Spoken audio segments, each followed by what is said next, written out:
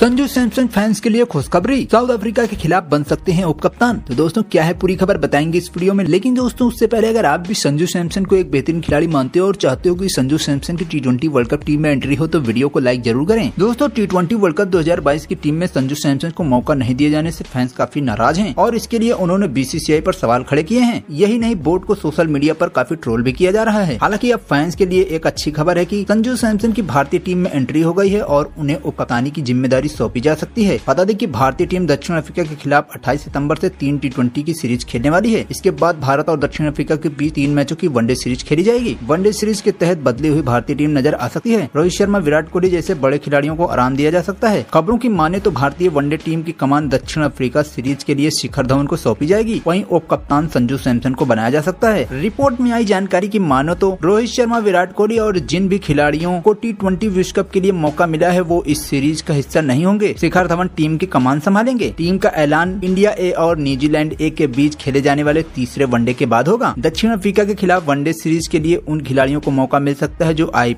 में अपने प्रदर्शन को लेकर सुर्खियों में रहे शुभमन गिल ईशान किशन कुलदीप यादव जैसे स्टार को दक्षिण अफ्रीका के खिलाफ सीरीज में मौका मिल सकता है भारत और दक्षिण अफ्रीका के बीच वनडे सीरीज छह अक्टूबर ऐसी खेली जाएगी फिलहाल दोस्तों अब देखना दिलचस्प होगा की क्या संजू सैमसन को दक्षिण अफ्रीका के खिलाफ वनडे सीरीज में कप्तानी मिलती है या नहीं यह देखने वाली बात होगी तो दोस्तों आप भी संजू सैमसन के लिए अपनी राय कमेंट जरूर करें